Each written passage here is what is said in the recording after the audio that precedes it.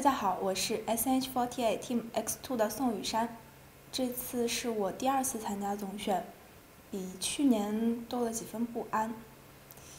呃，回想了一下，这一年好像是有了一些进步，但其实从新公演以来，我的状态一直不大好，有时候会觉得很绝望，就看着我的状态，嗯，怎么说呢？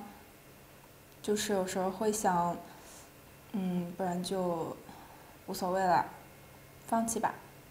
但是过不了多久就会否决自己刚刚的想法，果然还是不行，不甘心。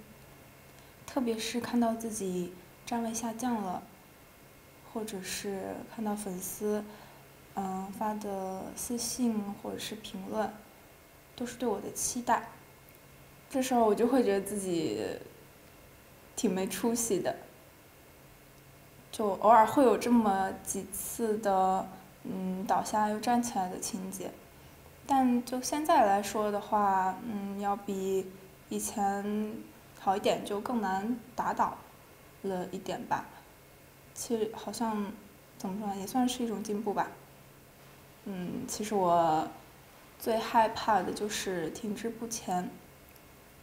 不管是，呃，自身条件的原因，还是思想上的原因，都让我觉得特别的担心和害怕。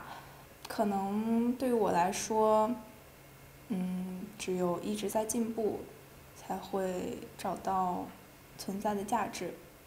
我之前有跟大家说过，我想成为一个，嗯，能被大家所认可的偶像。但现在我。不仅仅想被大家所认可，也想成为一个能让大家看到我身上的希望的偶像，不是被人发掘，是直接被看到。嗯，这次总选的话，大家就嗯尽力就好。呃，我想看看支持我的人可以支持我走到多高，在我十八岁的这个夏天。